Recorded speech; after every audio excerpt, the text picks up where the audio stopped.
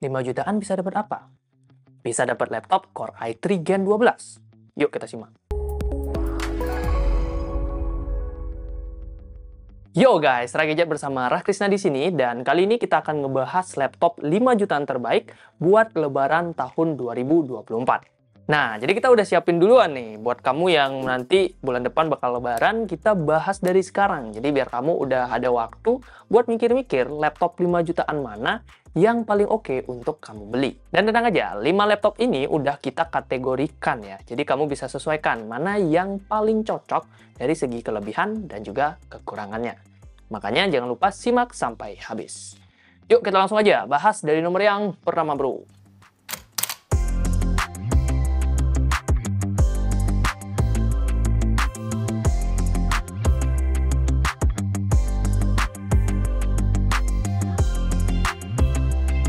Laptop 5 jutaan terbaik buat lebaran yang pertama adalah Asus VivoBook Go 14. VivoBook idaman kaum mendang-mending. Soalnya jarang-jarang ya Asus bikin laptop VivoBook murah dengan paket lengkap. CPU kenceng, desain bagus, layarnya oke. Biasanya kan cuma jualan desain.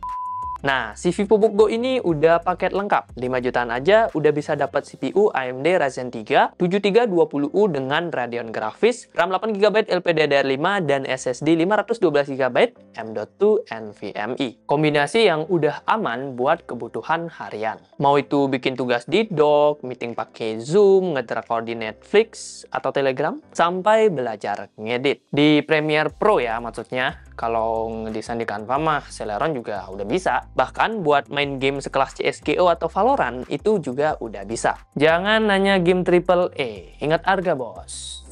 Performa udah oke okay punya, sekarang kita lanjut roasting desainnya. Well, nggak ada yang bisa di roasting sih, karena untuk harga 5 jutaan, desainnya ini justru udah mirip dengan VivoBook belasan juta. Hal yang sama juga terjadi di bobotnya, ringan di 1,38 kg dengan tebal 1,79 cm. Terus layarnya juga bagus, 14 in Full HD dengan panel TN. Ya, memang masih TN sih, cuman ya 5 jutaan ya, yang termaafkan lah. Baterai 42 Wh-nya sendiri bisa bertahan hingga 9 jam dan portnya juga udah lengkap. Aman bosku!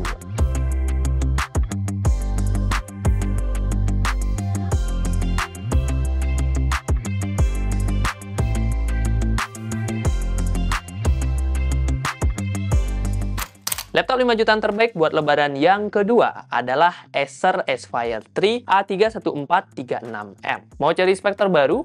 Aspire 3 ini bisa jadi pilihanmu. Soalnya CPU-nya masih sangat baru dan bahkan masih agak asing di telinga ya. Intel Core i3 N305 dengan Intel UHD grafis. Bedanya apa bang dengan Core i3 biasa? Well, seri N ini bisa dibilang next levelnya Celeron ya. Jadi kastanya masih di bawah i3 1215U. Simpelnya gini, Intel Core i3 N305 ini 20% performanya lebih rendah dibanding Core i3 generasi 12. Cuman N305 ini tergolong Intel Celeron paling kenceng ya. Jadi bisa dibilang tier satunya dari Celeron. Ya, udah cukup mendekati i3 lah. Alhasil, dicombine sama RAM 8GB LPDDR5 4800 MHz dual channel dan SSD 512GB membuat Aspire 3 ini yang ditenagai dengan N305 tetap mumpuni buat aktivitas produktif. Nggak usah disebut aktivitasnya ya, gue yakin lu udah bosan dengernya. Nah, yang nggak kalah menarik dari laptop ini adalah aspek ergonomis. Beratnya 1,4 kg dengan ketebalan hanya 1,18 cm. Laptop terlipis di kelas 5 jutaan kali ini. Meski begitu, baterai yang ditanamkan masih bisa cukup besar ya, di 40 Wh yang bisa bertahan hingga 8 jam pemakaian. Nah, ini kombinasi yang pas nih buat kamu yang nggak pernah absen bawa laptop ke mana-mana.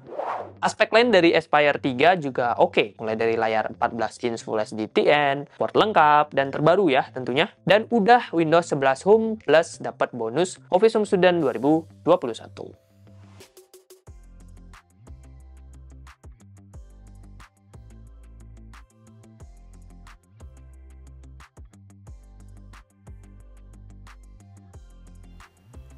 Laptop 5 jutaan terbaik buat lebaran selanjutnya adalah Axio MyBook Z. Asik, ada Axio lagi nih. Dan kali ini datang dengan seri terbarunya, yaitu Babang Z6. Seperti biasa, Axio hadir dengan laptop spek oke harga kere.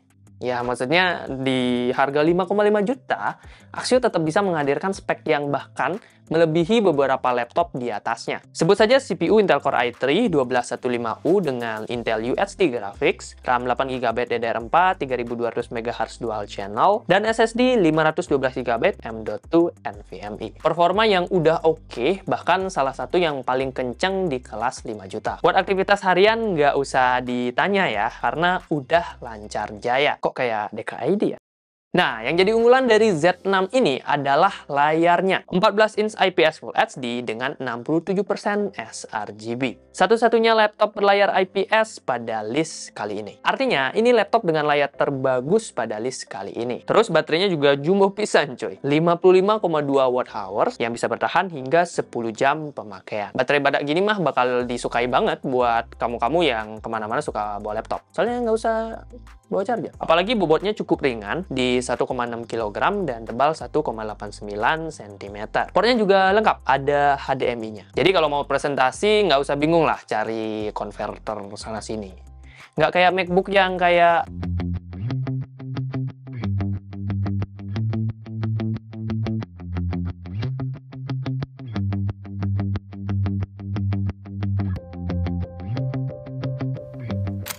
Laptop 5 jutaan terbaik untuk lebaran yang keempat adalah Lenovo IdeaPad Slim 1. Buat kamu pencinta Lenovo dan juga kubu merah, laptop ini akan jadi juara. Sebab speknya nggak kaleng-kaleng ya. Udah seperti biasanya lah, gimana Lenovo IdeaPad Speknya oke, okay, build quality oke, okay, namun harganya tetap terjangkau. CPU AMD Ryzen 3 7320U dengan Radeon 610M, RAM 8GB LPDDR5 5500 MHz, dan SSD 512GB M.2 NVMe. Terus layarnya juga udah kencang. Kok kencang sih? Terus layarnya juga bagus, 14 in TN beresolusi Full HD. Iya ya, bukan IPS kok. Tadi kan udah dijelaskan ya. Kalau mau layar terbaik, silahkan pilih MyBook Z6 ya yang di nomor tadi. Anyway, bobot laptop ini merupakan salah satu yang teringan di kelas 5 jutaan. 1,38 kg aja dengan tebal di 1,79 cm. Ditambah baterai 42 watt hours yang bisa bertahan hingga 9 jam, bawa charger bukan lagi sebuah kewajiban. Ayo coba absen, siapa yang baterai laptopnya udah bocor baru sejam, bahkan nggak nyampe ya, udah mati. Ada nggak? Anjir, editor gadget angkat tangan. Last but not least, portnya udah lengkap, ada HDMI dan Type-C.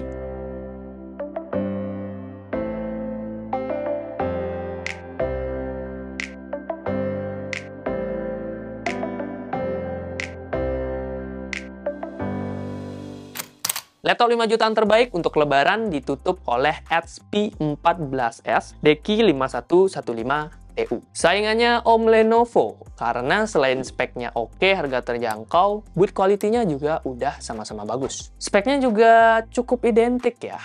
Jadi heran, apa jangan-jangan ini satu perusahaan? Nah, tentu bukan ya. Tapi speknya emang mirip punya. Intel Core i3 1215U dengan UHD graphics, RAM 8GB DDR4, dan SSD 512GB M.2 NVMe.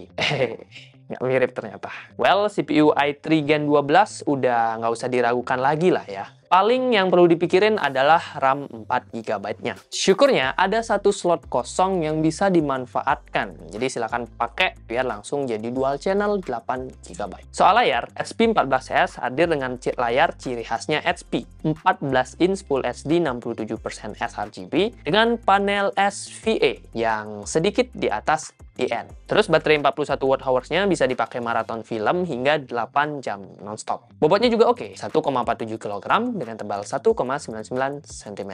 Simpelnya, laptop HP 14S ini merupakan laptop yang aman untuk semua kalangan. Sama lah kayak Lenovo IdeaPad tadi. Bentar, bentar, bentar. Jangan XMN dulu. Ada yang ketinggalan, bos. Oh ya, portnya. Portnya udah lengkap ya. Uh, lupa juga apa, tapi cek di sini, di pojok. Oke, udah. Eh, end segment, end segment.